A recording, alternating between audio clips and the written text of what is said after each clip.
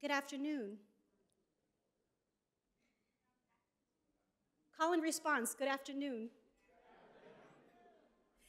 I'm Cynthia Orellana. I'm the director of the Office of Community Partnerships at UMass Boston.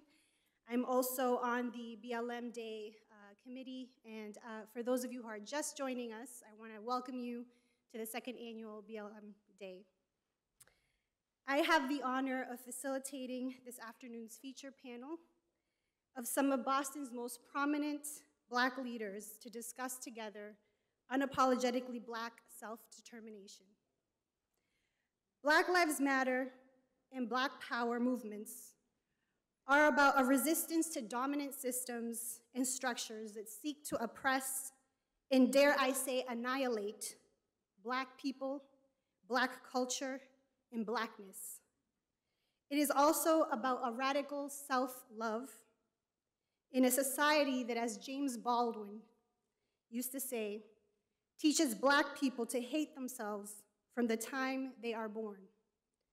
It is also about making space, demanding justice, centering the Black experience, and not asking permission to do what is needed or what is right for Black people, or apologizing for being Black, or focusing on Black people's needs, their strengths, and their promise. Today's featured panel includes Sheena Collier, founder and CEO of Boston While Black and the Collier Connection. Sheena is a super connector. Yes, applause. Sheena is a super connector, a convener, and a strategic planner. 16 years ago, she came to Boston to attend Harvard University Graduate School of Education and after attending Spelman College in Atlanta. And as a black woman, Sheena struggled to feel a sense of belonging at school and in this city. She didn't know anyone or have a network, so she built one. Sheena started and joined organizations, became civically engaged, and hosted events that connected her to lots of different worlds, including education, politics, the arts, community organizing, and business. She made connections that changed her life and learned techniques to navigate this city. This has helped her build a broad network that she now leverages to benefit others. With 15 years experience in education, economic development, community organizing, and event planning, she uses her ability to navigate different environments to broker partnerships within and across sectors. Segun Idowu, President and CEO of BECMA, Black Economic Council of Massachusetts, was raised in Boston and is a proud product of the Boston Public Schools. Following his graduation from Boston Latin Academy, he earned his Bachelor of Arts in History from Morehouse College in Atlanta, Georgia. Following his 2012 graduation, Segun joined the office of then District 4 City Councilor Charles Yancey and after two successful years, he transitioned to the Edward M. Kennedy Institute for the United States Senate.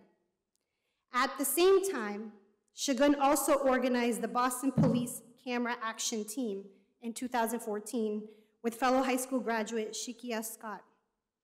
The mission of the community group was to further accountability and safety in Boston through the mandatory use of body-worn cameras by police.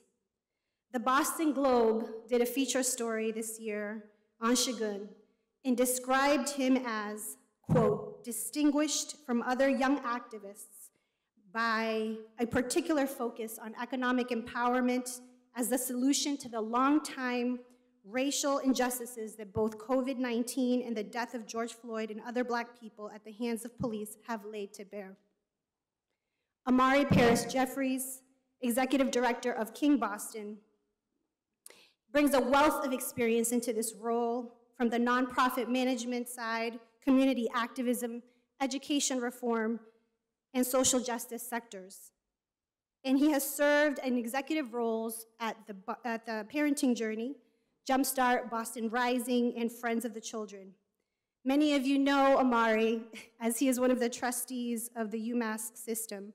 He's also a three-time graduate of UMass Boston and is my fellow cohort mate in the UMass Boston Higher Education PhD program. And last but not least, Willie Bodrick III. Sorry, the second. um, Willie is the senior pastor of the historic 12th Baptist Church in Roxbury. Willie leads in a dynamic way, preaching, insightful teaching, and doing community-driven work throughout the country. Willie is the, is the only, is only the 14th, sorry, senior pastor of the 12th Baptist Church, which celebrates 180 years as a congregation and 215 years since the founding of their mother church, the African Meeting House. Willie's work has extended beyond the four walls of the church. He has served on the transition teams, steering committee for the Suffolk County District Attorney Rachael Rollins, as the outreach coordinator in the Community Engagement Division of the Massachusetts House Office, sorry, of the Attorney General Maura Healey, and as a senior advisor for the successful Ed Markey campaign for the United States Senate in, 2020. He has extensive experience doing work in the community, including advocacy on issues of public education, public safety, and economic justice, serving as president and chairperson of the Boston Network for Black Student Achievement and a member of the Boston Schools Opportunity and Achievement Gap Task Force.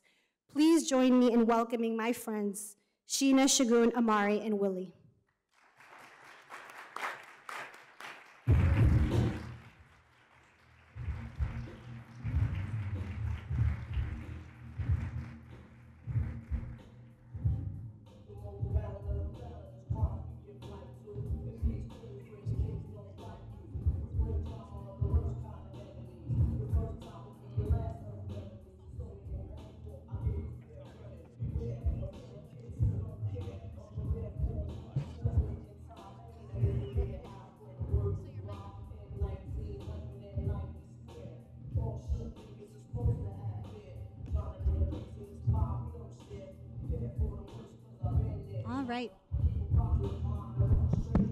Just checking to make sure the microphone's working.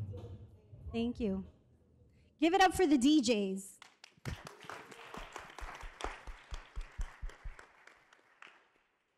So I just want to start off uh, by welcoming each and every one of you to your public research university, UMass Boston. Thank you for being with us today. Um, I also wanted to start off by congratulating you because each of you have been getting several awards. Uh, and most recently, you were featured on the Boston Foundation's report last year. And you were featured as the change that we need. And all four of you have made it on the Boston Business Journal's lists. Willie, you made it on the 40 under 40, and Sheena, Segun, and Imari on the Power 50. And there's so many other headlines and recognitions, I can't keep up with it. And it would take a long time to get through them on this stage today. So I just wanted to say congratulations for the recognition that you're receiving for all the hard work that you're putting into our community.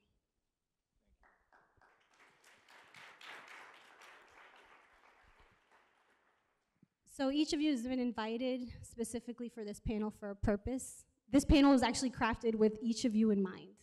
Um, you are all highly regarded specifically for doing this work in the city of Boston. You are this generation, my generation's leaders of anti-black racism, which really deals with these legacies of past and current oppressive conditions that the community's been dealing with. And beyond anti-blackness, anti-black racism, I see you also as leaders of what I'm gonna call black futurism. I didn't coin that term, that term actually exists. But the way I'm defining it as, as people who are really focused on the fulfillment of the promise of black people. So I'm wondering if you can share with us um, what it means for you to do anti-racist work and what we might call this black futuristic work at this time in our history and in Boston. So any of you who want to pick this up. I'll, I'll jump at that first. Good, good afternoon, everyone.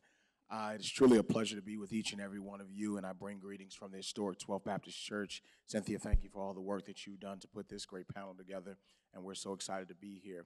Uh, I like the way that you began this conversation speaking about black futurism uh, and, and the studies of Afrofuturism, because I think the ways in which we must think about anti-racist work, it starts with imagination. It starts with being able to see what is beyond before it is yet realized. And I think what we must do is also give homage to those who've dreamed and imagined before we even came to be. Like there's no panel of us without those who've had a past and had a history to see beyond the edges of the mountain and say one day we'll get over that hill, we'll get over those struggles, and we're consistently fighting. And so I think the beginning of this work starts with how do we reimagine what we hope to become?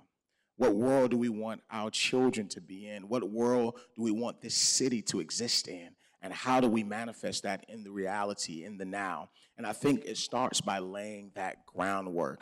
Uh, I'm so blessed to, to lead a church. We're 181 this year and 216, and that's a beautiful thing because you can see the history of this church who was considered the fugitive slave church uh, during the civil uh, the Underground Railroad and, and thought about as the church that was fighting on the forefront of the civil rights movement. It was the place where Dr. King worked. And so we have this framework of liberative work. And the question is, how do we as, and I, as young people, I'll still say, I'm gonna hold on to it.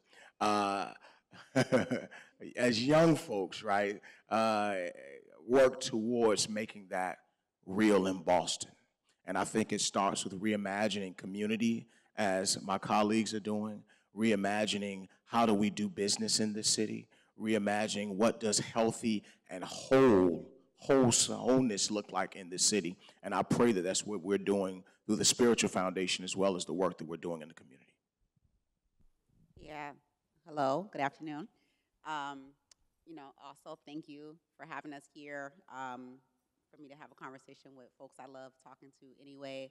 Um, just to build off of, of what um, Willie said, so the, the vision statement of Boston While Black is reimagining cities where black people can thrive by making black experiences, community, and culture more prominent and abundant. And I think um, I love as well that you started out talking about the future because I think to stay committed to this work, you have to um, stay in a place of uh, reimagining because the day to day can be very discouraging. We continue to see things that um, I think make us all question, you know, how much of this is possible. And so we name, we have a series called Black Boston Reimagine. Like we just, we use that terminology a lot. And um, really because even for myself to keep going as the leader of the organization, um, of members and staff, I have to keep myself in that place um, to keep myself going. I, I have to believe that there is something possible beyond what we all can see right now. Um, and to Willie's point, someone dreamed this for us. You know, even um, my parents, I have seven older siblings, and so my parents are um, in their 70s, and eight, my father's passed, but he was 80. He was at the March on Washington. My mother was at Selma.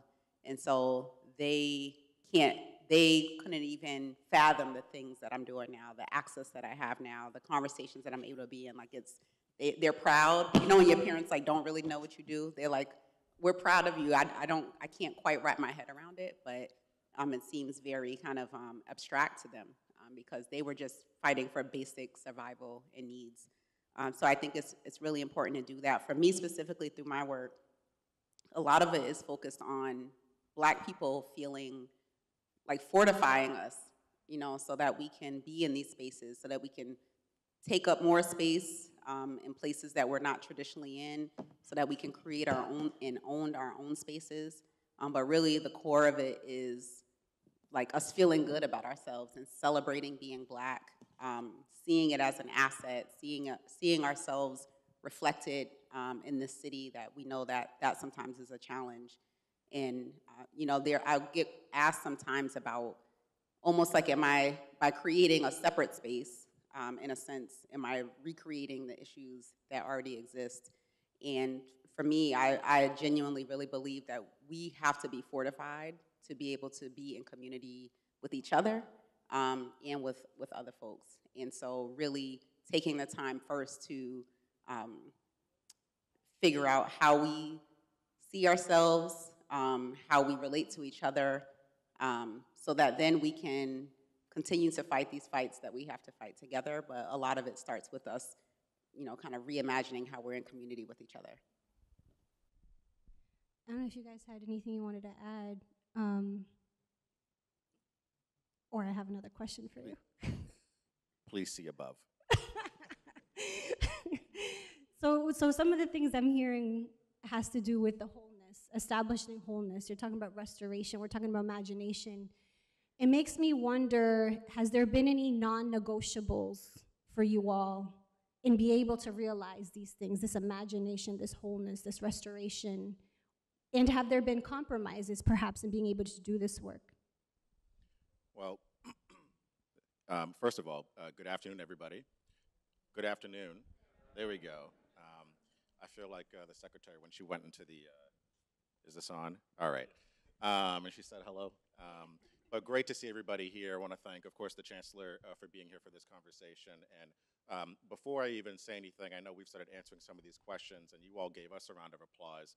Uh, but the four of us are here because of our friendship and support of Cynthia. And so I just want to take like five seconds to also applaud the work that Cynthia has been doing um, here at the university. So when I think of um, uh, non-negotiables, uh, and the work that I do, um, so I lead uh, uh, BECMA, the Black Economic Council of Massachusetts, and when I first started working with the organization, I had a lot of people coming up to me saying, why do you have to be the Black Economic Council? Why can't you be the Minority Economic Council or the People of Color, you know, some organization that includes uh, everybody and doesn't um, uh, exclude people uh, based on the name? So the non-negotiable for me was keeping it as Black Economic Council of Massachusetts because uh, when, even when we think about the 60s um, or just the history of black people in this country, anytime we fight for black people, everybody benefits. But I cannot find a time in history when it's been the reverse and black people benefit, right? And so for me, the non-negotiable is when I'm in a room, I'm talking about black people specifically, but knowing that everybody, including white people, uh, benefit when we are eliminating barriers for black people. And so, you know, I won't go even more into it, but I'm just saying that the non-negotiable is black focused, knowing that uh, uh, everybody winds up benefiting from, from that advocacy.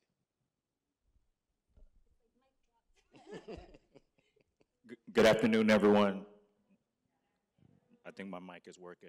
Uh, um, I, I, also want to thank the Chancellor for being here for this conversation, Dr. Cooper, uh, Cynthia, who, who is a dear friend and, and, and uh, colleague and, and study partner, uh, and, and my friends on the stage and all of you for being here today.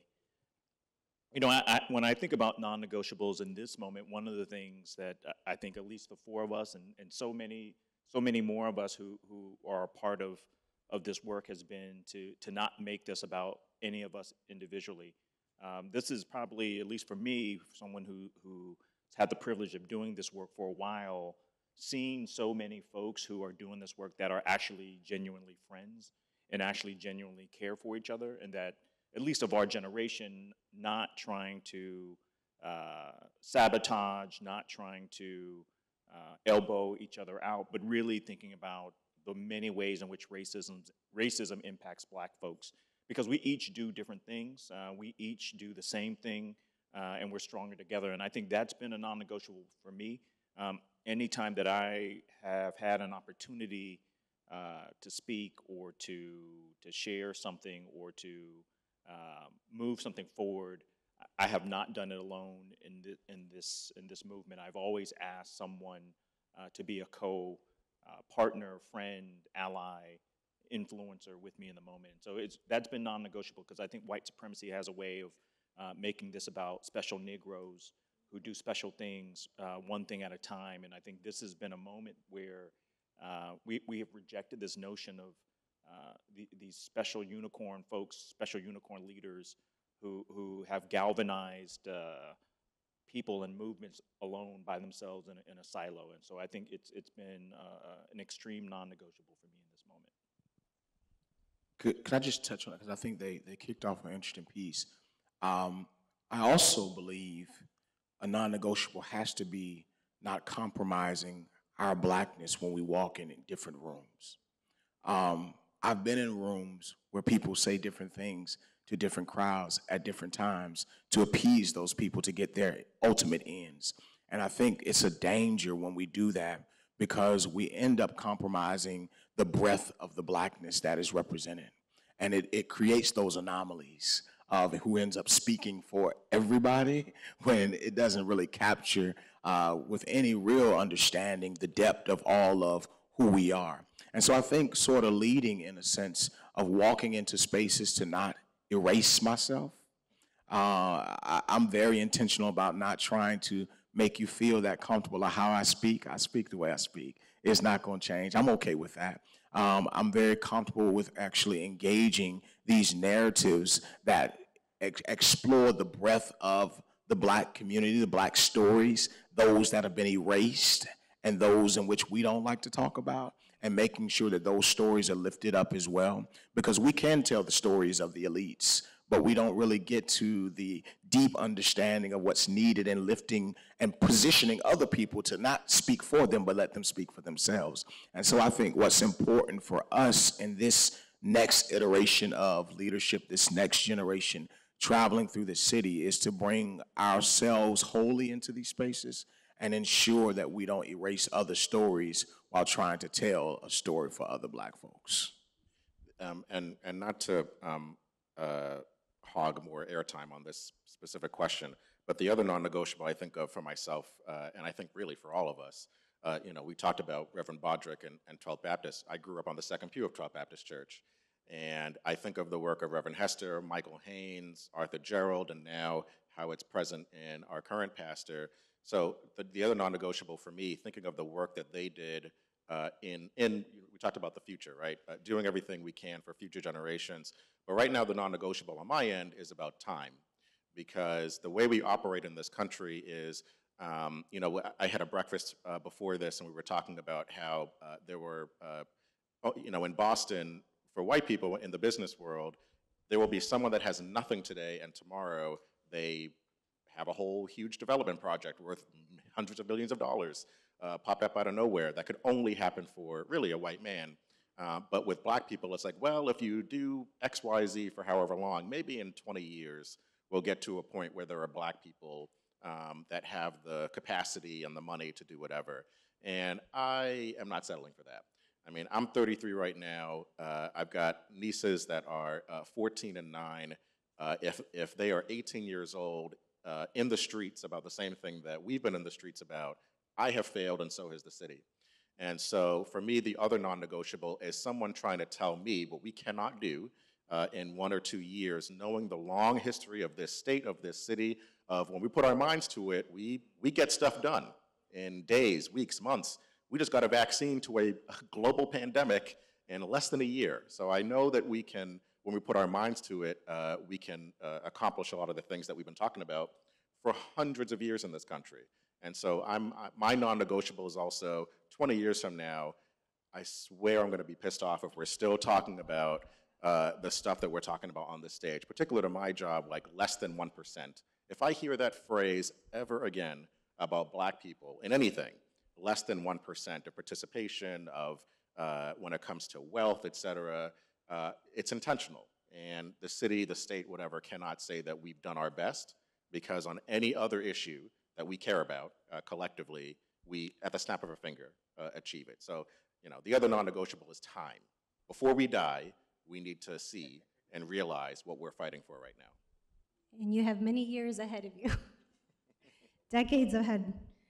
Um, my next question just kind of folds off of this conversation. I, I see each of you as the embodiment of what it means to be unapologetically black and what it means to do self-determined work. Each of you is walking the, the talking the walk, walking the talk. I'm horrible at colloquials. it's all good, right? Um, but each of you is really walking the talk. The way you see the world, the way that you're experiencing the world is unapologetically black. And you talked about these non-negotiables, but it makes me wonder if you can share more about how you define for yourself, what does it mean to be unapologetically black? And how is this actually manifesting through your work and through your personal lives? Mm. Um, well, so the, the name Boston While Black, um, many people, including black people, have asked me about changing because it feels too in people's face. And um, is you know, it's interesting when it comes from black people. I think that they are they feel like they're being helpful or protective, uh, but not really realizing that um, my non-negotiable is centering whiteness and white people, and and so I think that um, you know that I, I joke and say as I get older, I feel like I'm getting blacker, um, but meaning I'm just more comfortable, you know, in what it means for me, um, and that includes naming something, putting very much out front kind of what my mission is. So if you ask for a meeting with me, there's a whole like intro conversation we don't even need to have because you you already know um, who I'm representing, kind of what I'm um, who and what I'm advocating for. Um, I think you know at a granular granular level, um, the way that I'm building the team and community that I have. So for my team, for example, my staff, we start our every Monday. We're going to do it this afternoon. That we open up saying, "What are what are Black people talking about this week?" And everyone has to bring something from the shade room, from CNN, from like you have to be tapped into kind of what is because you know every week there's something new that folks are talking about. Um, but the reason that I started doing it was even to give my staff permission to show up. My staff is um, is black, is all black, because I could tell coming from, you know, they all come from working at um, mostly um, predominantly white institutions. They didn't really believe at first that they could really be themselves in the space. And I had to really give them permission to say, I know you talking about this stuff with your friends, like you actually can talk about it here. You know, this is part of the black experience. Be professional, but you know, there's this is part of being black as well. And it feels, you know, many awards and accolades and panels, but honestly, the, the piece of it that feels the most rewarding to me is giving that permission to people to show up as themselves. This, these five folks that I supervise right now, like that is the most rewarding thing to me every week um, and really helps me to continue to feel more comfortable showing up as my black self, um, but extending that space to them as well.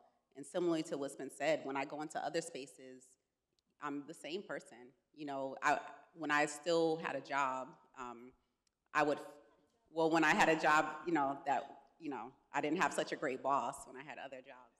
Um, I, um, I would find little ways to do it. So, you know, I might have on a business suit, but like some door knocker earrings, or, um, you know, there would just be these little, really kind of um, symbols are reminders to myself of who I am um, and, and what I represent. I also felt like part of it was showing people in these spaces that black people, a black woman with bamboo earrings on and et cetera, et cetera, um, knows what she's doing and can lead this meeting. And I, and I felt like it was also helping to change.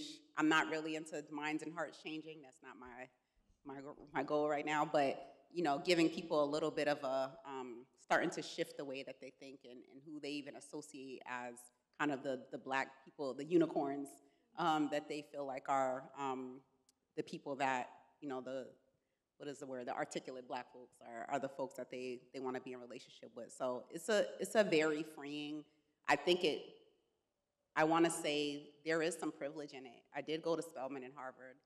I have had really great jobs.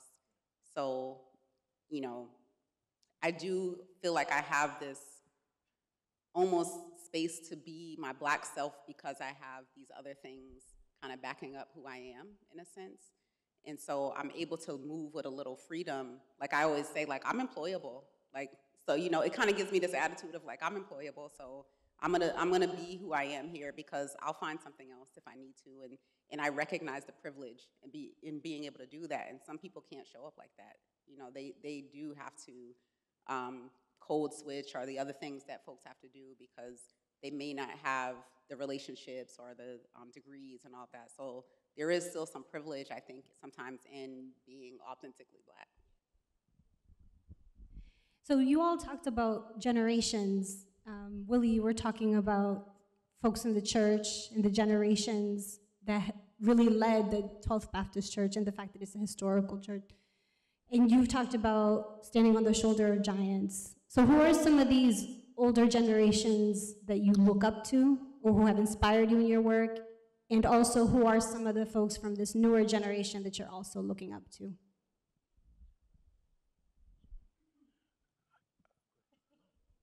Uh, At first, I was gonna say Imari, but I said I wouldn't do him like that. no, uh, Imari, the older generation? no, I, I, I- I speak about. Um, I think when you talk about unapologetically black, um, I like to always say that we're not the first people to do this. Um, I don't like the mantra or the ideas that um, this generation is doing something so novel that we're just the blackest of the blackest and the smartest of the smartest, and it's actually not true, right? There have been people who have gone way beyond what even many of us have done to actually push the culture, push our ideas, to create the space for us to even talk about being unapologetically black. Um, I was blessed to be born and raised in Southwest Atlanta, Georgia.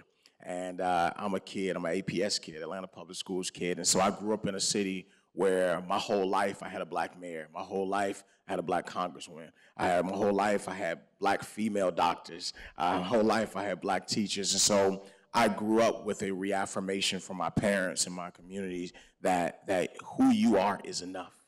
Like who you are can do whatever you want to or imagine. And I think that was the privilege I grew up with because I met other black folks across the country when I went to college and I recognized that they didn't have that freedom. They didn't have that liberty. And so when I came to this city, I'm so thankful for people like Reverend Arthur T. Gerald, who poured into me. I'm thankful for, uh, you know, Reverend Dr. Charles Adams out of Detroit, who was my professor over at Harvard Divinity School. I'm thankful for Charles Ogletree, who literally took me in and and made me one of his own. And uh, and I thank God for him each and every day. Um, I'm thankful for Charlotte Golar Richie for giving me an opportunity to just run from church to church and drop literature. I'm thankful for so many people who, uh, you know, Barbara Fields, who's an education advocate, uh, George Cox, uh, John Mudd. There's so many people I can name who have laid that foundation. And then as a student of history, Segun ran the list of all the pastors of TBC. And so we've been so blessed. Uh, I think about Reverend Jeffrey Brown, who's done so much to pour into me. And so their names, I'm pretty sure all of us will name, Mel King and others who just took the time. Uh, Steve Wright, Attorney Wright, Steve Wright, who just took the time and said, they're going to pour into me. And I, I know that I'm all that I am today. And many of you all could say the same, that you are who you are because somebody said, I'm going to give you that time. I'm going to give you that tutelage. I'm going to give you the love that either somebody gave me or somebody did not give me, but I'm going to make sure you have it. And so those are some of the people that come to mind uh, immediately. Well, um, I think this is a this is an, a great question, especially after the uh, our definition of uh, what it means to be unapologetically black, because what informs it is the idea that we are not descended from a fearful people.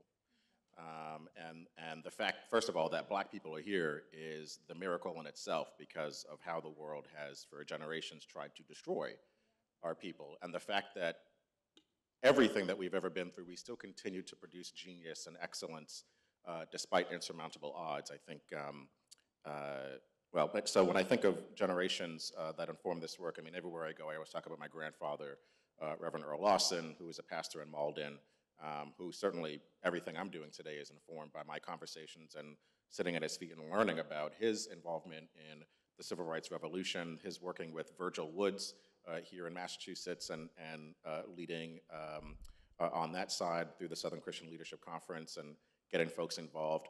And so hearing the stories that you don't learn in, uh, in high school or middle school about what the civil rights revolution actually was. It was more than black people and white people marched around America seven times and the walls of racism came tumbling down. Uh, but rather, you know, that there was, I mean, again, this is to, to Reverend Bodrick's point, um, you know, death threats, people actually died. Uh, you know, like what we're doing right now, uh, you know, 50 years ago, you know, there could be lynch mobs outside in certain parts of this country.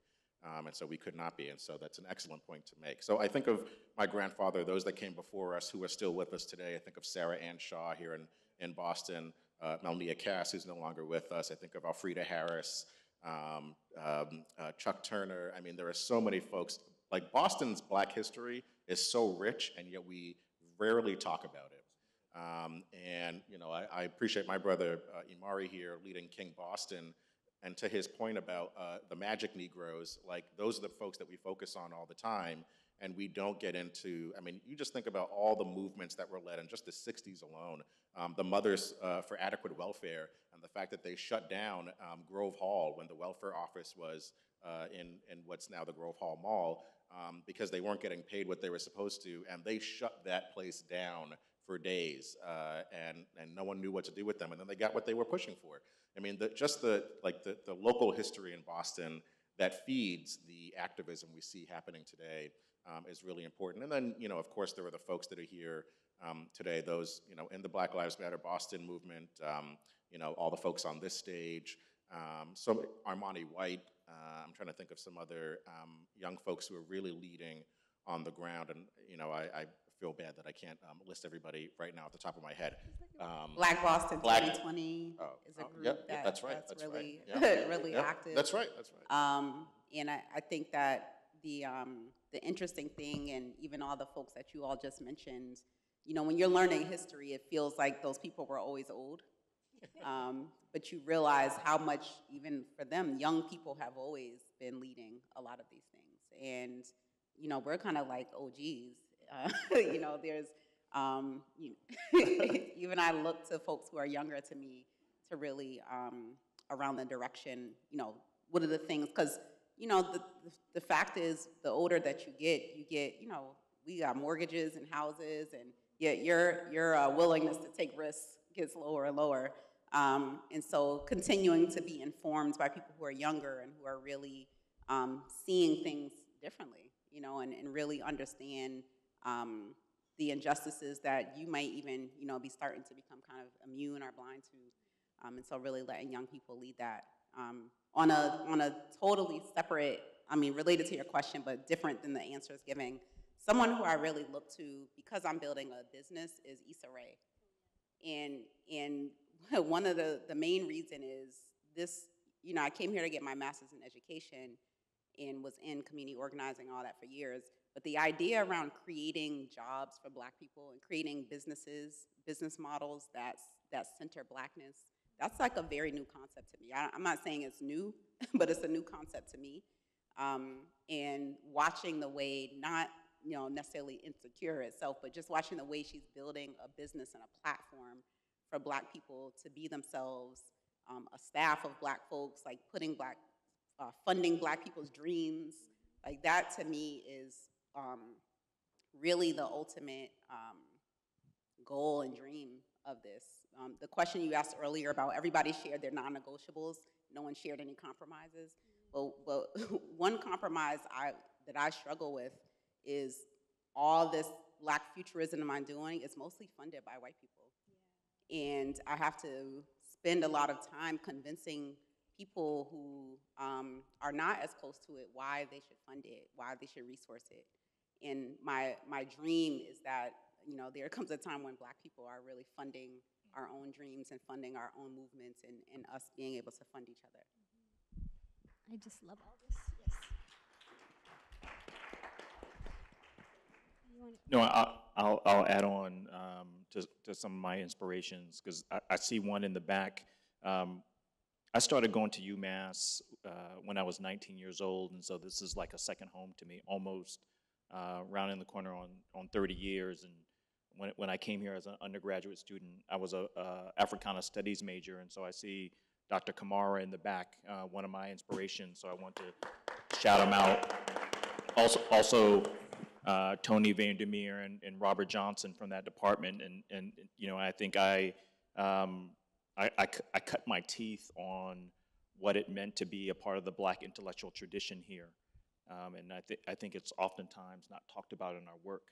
Um, and so I want, I want to shout out this university as one of the, one of the places that, that I draw inspiration from. I'm still here as a doctoral student, almost, almost 30 years. I feel like this place belongs to me when I walk through the campus uh, un- unapologetically. And so I'll, I'll, I'll go anywhere in this campus because this is, this is a home uh, more, more black students graduate from this university than any other stu, any other school in this city. And so this is an important institution. But outside of the institution, I would also uh, shout out uh, Hubie Jones, who, who is, is, is a protege of Mel King. Uh, uh, Hubie, Chuck Turner, Byron Rushing were in the first class of community fellows.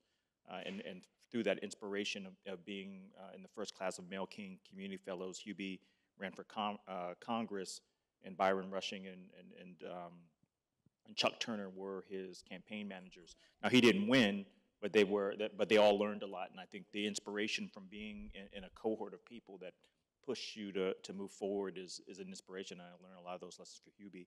And then, and then Robert Lewis Jr., who's also a trustee of, of this university, but um, you know, took me under his wings early on as a, as a mentor or a mentee.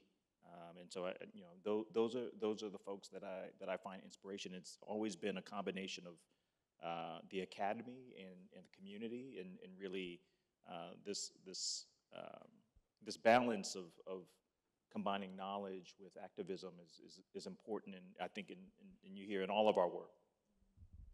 I really love that this, this there was a history lesson today, right, about all the folks in Boston and our own great city. Because I think oftentimes we think of civil rights movement and we think of like the marches down south. We forget about the fact that, to your point, Segun, Black Boston has been here and there's a rich history of people. I almost feel like we need to say their name T-shirt with all the folks that, that you mentioned that are just here from Boston. And speaking of Boston, I'm wondering if you can talk about what is happening in Boston and in the Commonwealth right now that you think is fertile ground for this kind of work. Well, I'll start. You know, Reverend, Reverend Barber talks about this third reconstruction. Really, the, the other two reconstructions happened. Uh, the first one happened, uh, as we know, uh, right after World, uh, right after the Civil War. Uh, the second one happened uh, when returning GIs returned from World War II up into right, 1968, 1967.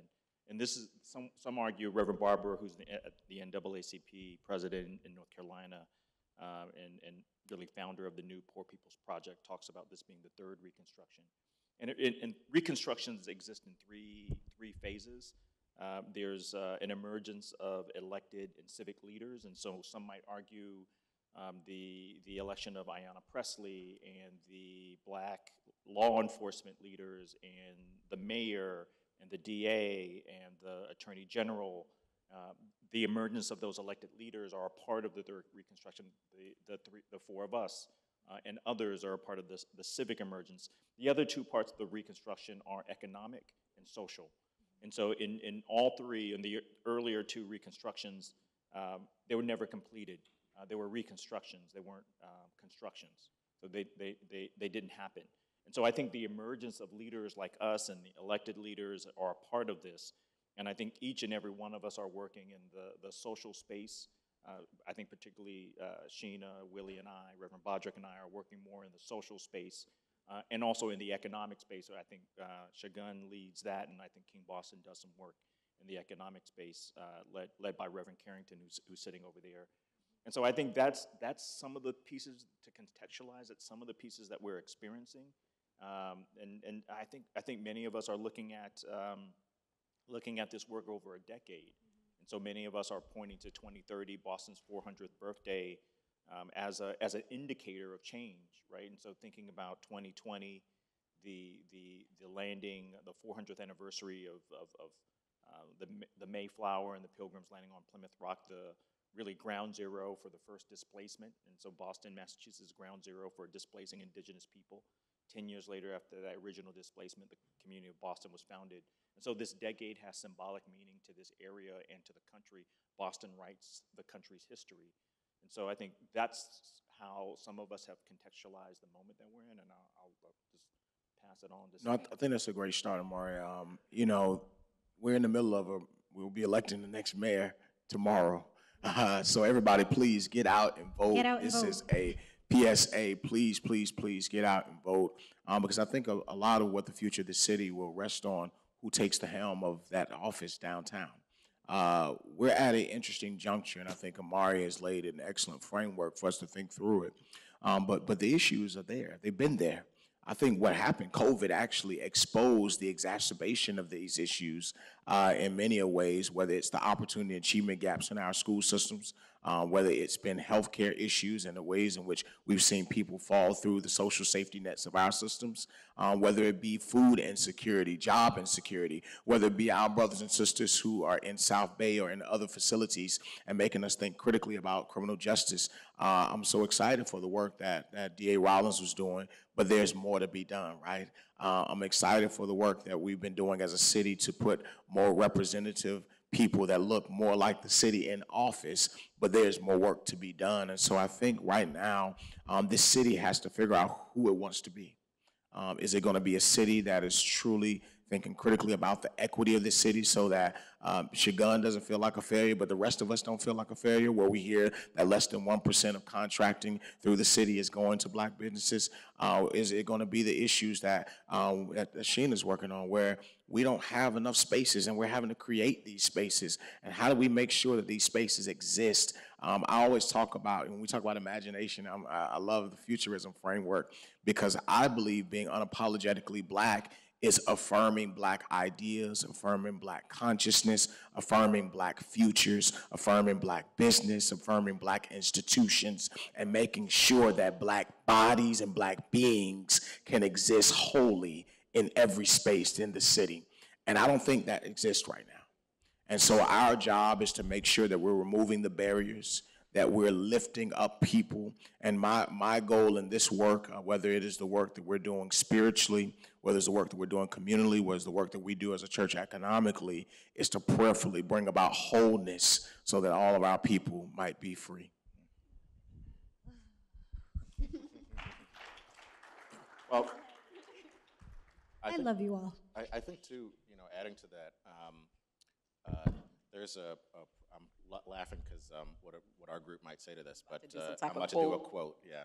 There's a proverb that says that, uh, to talk much and arrive nowhere is the same as climbing a tree to catch a fish. And there's many a redwood around Massachusetts. And, uh, so when we talk about, um, you know, some of the diff- some of the movements that are inspiring, um, you know, we've talked, Imari and Reverend Bodrick talked about uh, the civic and social aspect, and, you know, first of all, there are a lot more people of color that are in these political spaces, which is, I mean, for the first time in our history, and so now it's, uh, we are, it's incumbent on us to support them, because just because you get a black person in a particular office doesn't mean, you know, first of all, our history is gone uh, of racism, but also that they're just gonna do everything themselves. And, you know, one name we haven't mentioned today is Mayor Kim Janey, who did an excellent job, in my opinion, uh, shepherding the city. You know, I mean, this year, we, we, we will have three mayors this year. And, you know, uh, how she served uh, in between those two bookends, I think, has been incredible to see because what we could have had was someone who wasn't ready for that, and we would not have dealt with the pandemic as we've dealt with it, and, and essentially set up whoever comes in tomorrow for success. And so I just need to put that out there. Um, and by the way, where do I go? Where, where do I vote? MA.com. That's where all of you need to go after this if you to find your polling location. Those of you that are watching, polls are open 7 a.m. to 8 p.m. Happy to help you. Info at becma.org if you need support uh, voting. Anyway, but to answer this question, I want to I want to add to that, and I, I used that proverb in, in the beginning because um, there are. I, I feel like there is um, unspoken, but there is a redefinition of what power means in Massachusetts. Because a lot of times it is, especially in Boston, it's centered on, politi- on the political. That it always matters who is on the fifth floor of City Hall, the mayor, or the council, or it's mattered who's the congressperson is, or who any of these elected positions is. And I think that a lot more people, particularly our generation and younger, are starting to understand that yes, that matters, but it's not the only thing that matters. And there's a lot more work on the ground to bring about the changes that we want to see. A lot more coalitions that are forming. You got the Black Mass Coalition, the New Boston Coalition, so many others. Not something that I saw happening when I was a kid. A lot of nonprofits and other groups operated in silos. And so that's why 50 years later, we see the statistics we see because everyone tries to be Superman. Everyone tries to do everything themselves. And today, really as a result of the pandemic, you see a lot more people working together, use and, and combining their resources to address a problem. So, you know, we can go through a list of all the organizations and people who are doing great work, but I would say that the, the great, um, the framework that with, uh, with which it's happening is that people are redefining power and inserting themselves into that, um, but also people are working together, which is, you know, a point that Imari brought up too about, I mean, all of us, I mean, we're on our own text chain, you know, informing each other and supporting each other, and, and that's, um, that's not something you saw a lot when I was growing up. And you mentioned movement before, the word movement. So I'm going to dip into this second to last question because I think we have like 10 more minutes. Someone's out there probably. Thank you, Joseph, monitoring time for us. Um, but I actually looked up what the word movement means in the dictionary, so I'm going to share that. The Merriam Webster Dictionary defines a movement uh, in several ways. One of the ways is that it's a process of moving, it's a tactical or strategic shift of a military unit. It's a series of organized activities that work toward an objective, and it can be a moving parts of a mechanism that transmit definite motion. The Urban Dictionary describes movement as, you know I had to do that. the Urban Dictionary describes movement as the art of leading yourself in creating your own things and not being a copier or a biter. so we're here because it's BLM Day at the university. And uh, BLM is, is a movement, right? It was, it's a world movement uh, for Black lives. I'm wondering if you can share, um, as our second to last question, what is the movement that you're trying to build? And how will you know if it's successful? What kind of worlds do you foresee? Dang, girl. Oh, I know. 30 seconds or less. No, it's not, didn't- I not didn't put 30 seconds left. We have like 10 minutes. We have 10 minutes. But Can you, can what, I'll rephrase it again. What, what is the movement that you are specifically trying to build? How do you know if it will be successful? And what world do you foresee?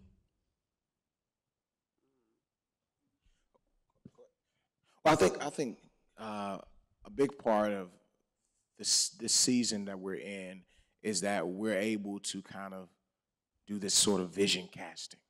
Uh, we keep putting on these numbers 2030, 2040, I've heard as well. Um, and so we've kind of put a timeline on ourselves in some ways about what do we want to see. Um, a part of what I want to see is uh, I want to see our communities no longer be pushed out. I want to see I want to see Roxbury stay Roxbury, um, and people who live and work in that community have the ability to live and work in that community. Uh, I want to see a school system where parents don't have to go outside of the city to educate their children uh, and feel comfortable and confident in each and every school that they put, put their children in. Uh, I want to see a city where uh, I don't have to go to Seaport or I don't have to go down to South End, which I like to do, uh, or I don't have to go downtown to, to be able to have all the amenities that are necessary so that the money that we're, that we're spending stays in my neighborhood. I would love for that to happen.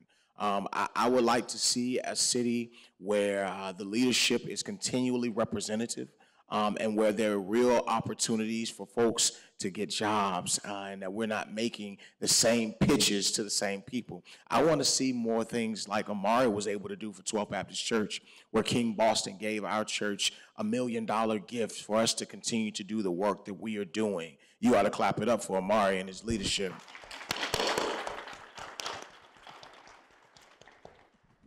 But I want to stop just casting dreams, but making them realities. And one of the things that I've always criticized Boston is that we're good with rhetoric that does not match our reality. And so I think now it is up to us to put the pressure where it needs to be applied. It is up to us to not just speak truth to power, but to take power and to make sure that we create the equity that we actually say that we want to see. And so I'm praying and working to make sure that this city is a city that is equitable, is a city that's representative, is a city whose infrastructure represents the broad breadth of this city, the breadth, the color of the city, the culture of the city, uh, and that hopefully uh, through the work of all of us, that we're able to tell a different story to the nation, and we're no longer seen as a racist city, but a city that's building a beloved community. Yeah, I mean, I think that's pretty much it. I, think you wrapped up all of our work well. Um, I would just add, I, you know, if I could kind of boil my work down to um, what is the movement, I think it's for Black people to be seen. I, I really think that that's the core of what I care about, what I'm pushing for, why I'm creating space for Black people, um, and for us to live, work, play in places that are um, built for us to grow and thrive. And and figuring out, you know, with with all that uh, Reverend Bodrick just said, like those are the elements, those are the things that will will help us to grow and thrive. To to a point that Segun made earlier, not just for Black people, it's actually for everybody, but it's through the lens of Black people, um, because we know that when we're free, everyone's free, and so th- that really is. Um, is the movement. Um, there, I shared this. We had a mayoral forum the other night, and one of the things that I shared was this quote that I, I saw somewhere one day, and it's just followed me through life. So I have my own set of quotes and proverbs. Um, but it was that uh, safe and equitable spaces for Black people is as economic as it is social. And so a lot of times, don't copy my. Don't. Yeah. Um, a lot of times when we're talking about, even when Boston Black is talking about space, people do see it through a social lens. You know, we do create social gatherings and, you know, we talk about people having fun, but, but really it's about the economic thriving of black people. We know that when we have those social spaces, when we're able to be in community, um, I mean, even on a, um, having the ability to connect with each other for jobs, for other type of opportunities. I mean, that's the thing that's missing for us sometimes is having these these spaces where we can connect to do business, to share ideas, to kind of ideate together. Um, and so I think that the more we have these types of spaces where we feel seen and heard and centered, um, is the is, is the movement um, that I'm pushing for. Boston While Black is a way to do that, and there are other ways to do that. So, um, and I think we all paused after you asked that question because it's, you know, it'll take more than the 10 minutes to, well, we can say our, what our movement is in like 30 seconds, but then putting everything under it would take maybe a half hour each. And, and I think you all want to stay here that long, right? Um, which would be about two hours here. But um, I want to, so the movement for us is, it's economic, right? And I mean, at BECMA, we're trying to make black people money. That's, that's the 30 second. We're trying to make black people money uh, especially in a city that has, and you know, on the on the city side, Boston has a 3.675 billion dollar budget that it puts out every year. Um, you have a state that has a 40 billion dollar budget, but here in the city of Boston, there are trillions of dollars coming through this city. That's something that should be interesting to everybody in the room. Doesn't matter what color you are. Trillions of dollars because of all of the corporations that have their headquarters or some of their main offices right in the seaport or downtown or financial district of the city. Trillions of dollars. Um, and so, and black people see very little of that. But I, am just, I'm just going to say um, why it's important. Because a lot of times, you know, uh, Imari started talking about um, uh, the third Reconstruction, and one thing that King Boston is leading here in Massachusetts um, is the conversation around reparations. And you know that word and the idea behind it kind of some folks kind of bristle at it, like, well, you know, slavery was so long ago, you know, and, and it's funny, every time we talk about slavery, we add an extra 100 years. Oh, it was 700 years ago, you know, it doesn't, you know, it's like, no, it was, it was actually a little more recent than that. Um, but I, I want to, you know, it's important that we're talking about this because, again, as Sheena just said, it's not something that just impacts black people.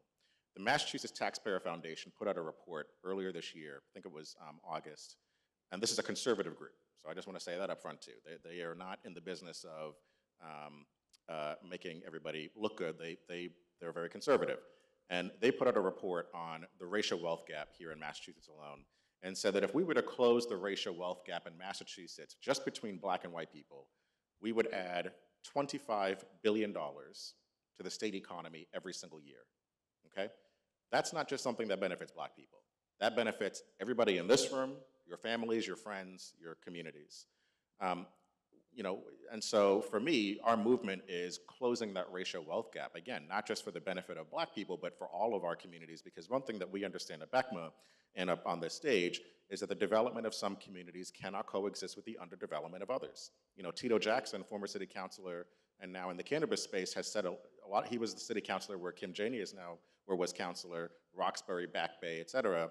And he would often say, like, even though Back Bay is doing great, they're less than a mile down the road from the South End and, and, um, and Roxbury, they are, they will never reach their full potential if Roxbury i- has, you can apply every disparity or every gap to the area, right? JP is never gonna be what it could be if Mattapan is suffering. And so that's one thing that everybody in this room who's watching, um, who's voting tomorrow, and then taking part every day thereafter in the civic life of this uh, city needs to understand is that no one up here, well, okay, I'll just say, BECMA is, uh, no, no one up here is just saying this is just for black people. I mean, of course, we're fighting on behalf of black people, again, as, as Sheena just mentioned, but you need to be able to see yourselves in these conversations too. This is not a black people conversation. Uh, this is something that benefits everybody uh, who's here. So anyway, I just say that to say this is why people beyond just black people should care about this. This is not something for you to check off on the box and say I'm now I'm an anti-racist because I supported this movement, but rather that you and your families and your children and children's children benefit when these disparities and these gaps no longer exist. So to tie it up, my goal is I'm just tired of talking about these gaps. So that's my movement, is to get rid of them so we don't have to keep Stop talking talking about about the gifts. So I know we're at time, so I'm gonna let Imari close this, because, but this is another question. It'll be the last one.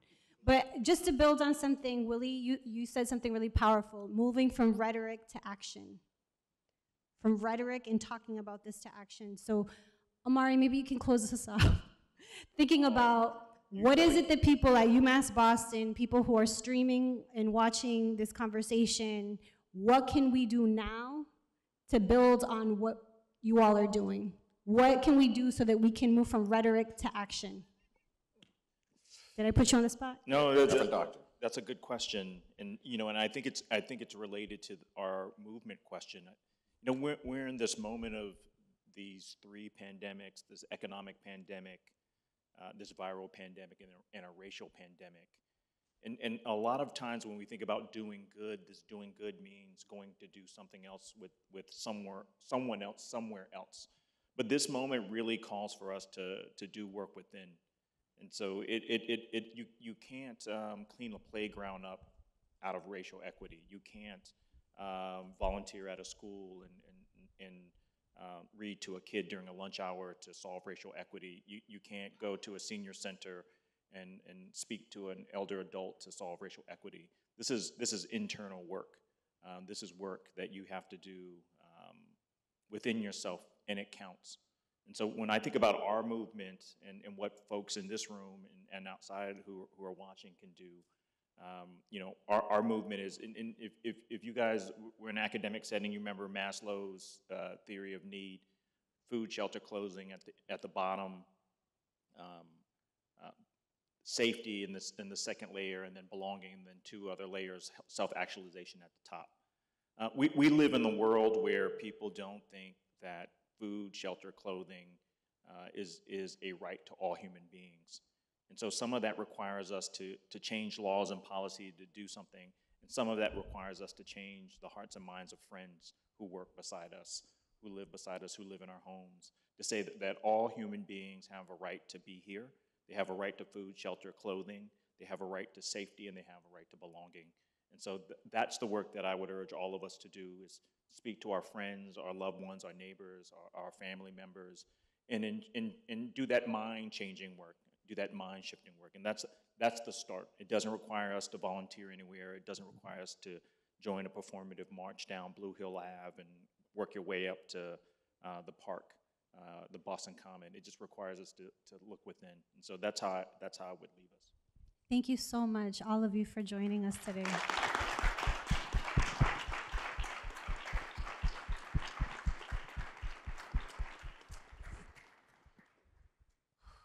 You've left us all a lot to, to digest and think about. Um, and I'm just so grateful to each of you for spending this time. It's very hard to get these four individuals together on, in one space, so I'm just really appreciative of your friendship and for doing this work that, that takes courage um, and true leadership and love. It takes a lot of love. Um, so thank you again for joining us.